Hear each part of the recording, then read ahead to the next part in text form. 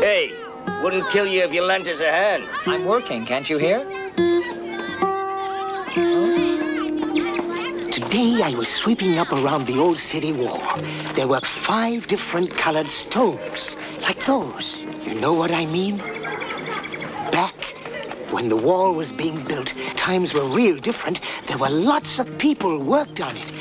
But two of them, they were the ones who put those stones there, and they were the two of us. Yes, of course we looked a lot different then, but it was us. It, it was a sign, understand? I recognized us. Okay, it's all right. Your cave is slowly turning into a home. The stove is almost ready. Just need to put the pipe in the wall, and you can. Uh, you're all set to cook. Here's to you, cockroach. I wouldn't want to cook on that stove. I bet it's all bent and crooked. You better watch out. All the pots and start pans again. will slip You off on the floor. walking belt, you liar, you cheat. You think just because you're tough and strong you can get away with anything? You almost killed me. He almost killed me. Did you see that? Why? Don't know.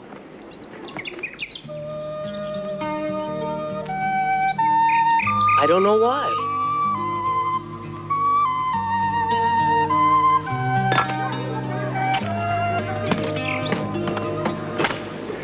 I really am going to do it if he keeps on and on like that. You know, he refuses to give me one glass of wine, even though I've always paid him. Why? I don't know. I don't know why. Here, a little present for you to bring you luck. It'll help you if you've lost something or in any other way. That's right. I gave him my radio for this. Yes, but you knew there was money hidden in the back. What do you didn't think? I swapped my nice radio for a cheap How come you knew about the money and I didn't? I saw one of your customers put it there as a kind of an offering. How much was there? No more or less than my radio was worth. And so you and I have fought each other over a picture of San Antonio that's not worth a cent? Oh, so?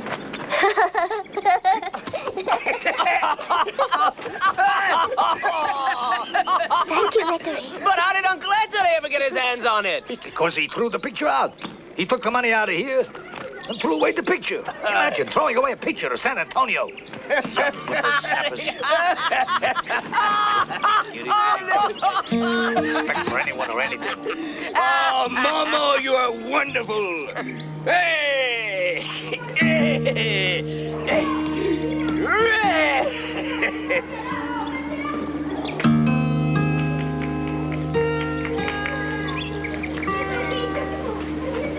Pretty, isn't it? Do you like the tune? Mm. now, if I could make up the words to go with it, I'd be happy.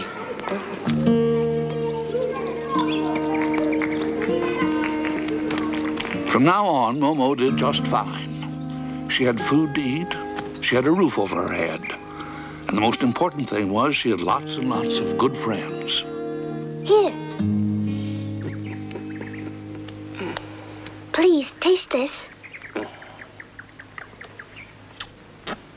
They're ready. Mmm. What's that? For you. I found it in the garbage.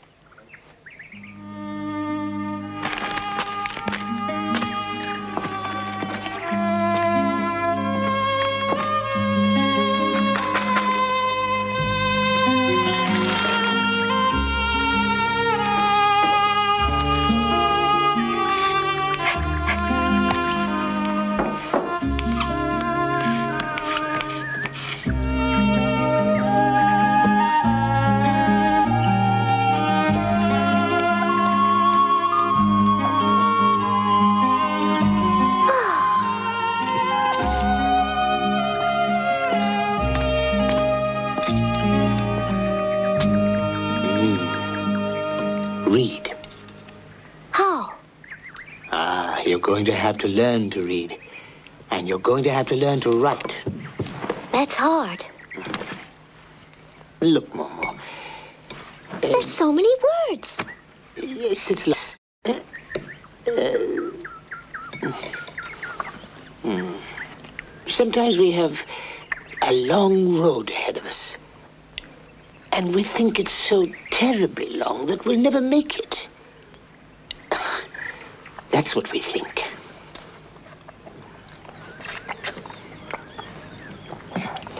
And then you start rushing. And you rush and you rush. Every time you look up, you see that the road is no shorter than it was before. And you stress and you strain and you start getting frightened and out of breath. And you can't go another step. hmm You must never think whole road all at once. Do you understand? You must always think of only one, just one, one step at a time. One breath, one stroke of the broom, one at a time. Then it's fun. That's important. Then you do your job well. And that's how it should be. All of a sudden, you realize you've gone the whole way, step by step. You didn't even notice how you did it. You aren't even out of breath.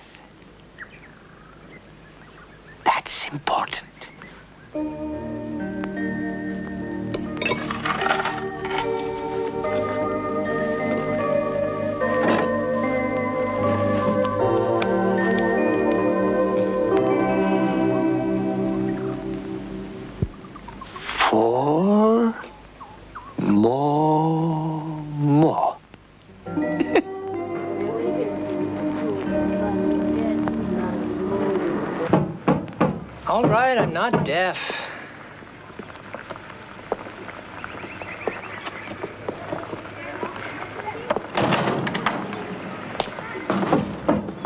The soup looks ready to me, Mr. Fusi. Would you like me to take it up to your mother? No, I'll do it myself. You know, she doesn't like unfamiliar faces. You can get the flour. Which color? What did we have yesterday? Red, for love. Then let's get lilac today. But soon the people realized they had been pretty lucky too. They needed Momo. And the people would say to the ones who hadn't yet realized that they needed her, go see Momo. He doesn't sing. He doesn't sing anymore.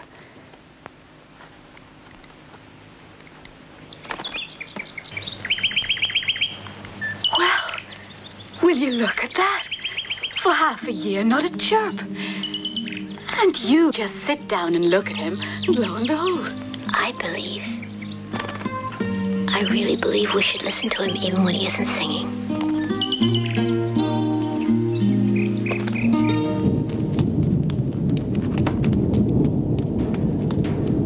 Mateo, can you see her yet? No, can't see a thing. But there's a storm coming. I'm scared. I'm going home now. Come on, we'll just have to play without Momo. Play what?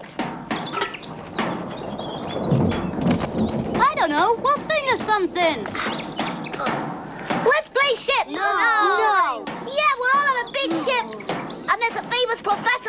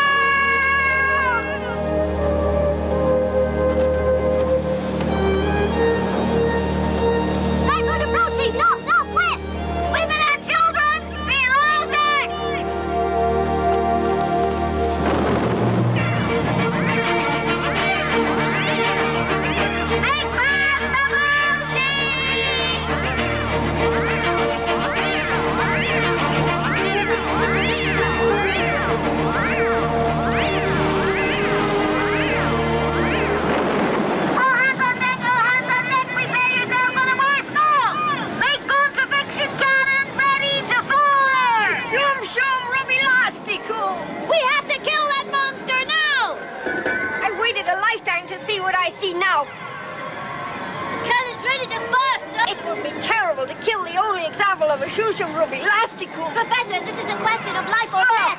this twirly creature is not to be saved. Captain, it's a billion years old. You can't kill it. Captain, it usually appears in a microorganism as tomato sauce. Once in a while, it takes the form of green ink. Don't any of you value your lives any more than that?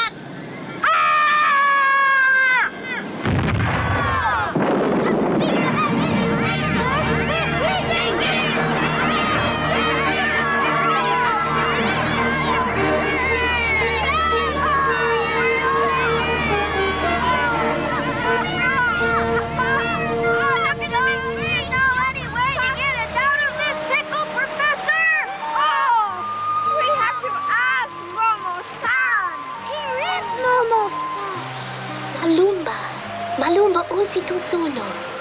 Ervainis samba sautu obindra. Tramonoroi bene bene sadukan. Malumba babau? Didi ma fainusi? Kadudu um aufu shulamat babata. It says, her people have a song that they sing, which will put any typhoon to sleep, provided someone has the courage to sing it. That's ridiculous! How could you believe a story like that? I certainly think it's worth giving it a try. Well, what are you waiting for? Ask her to sing it, Professor. Go ahead. Malumba, malumba, didi oisa fal, una babadu.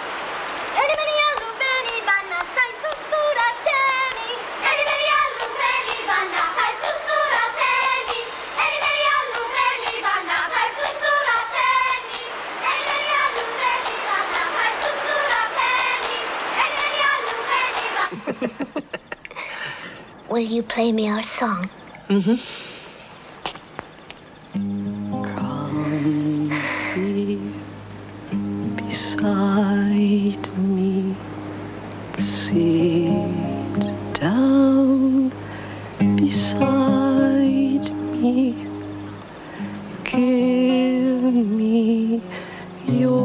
Hand now.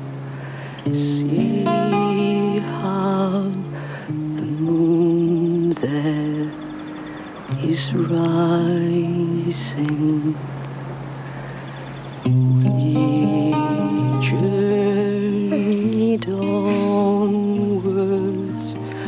always together. Time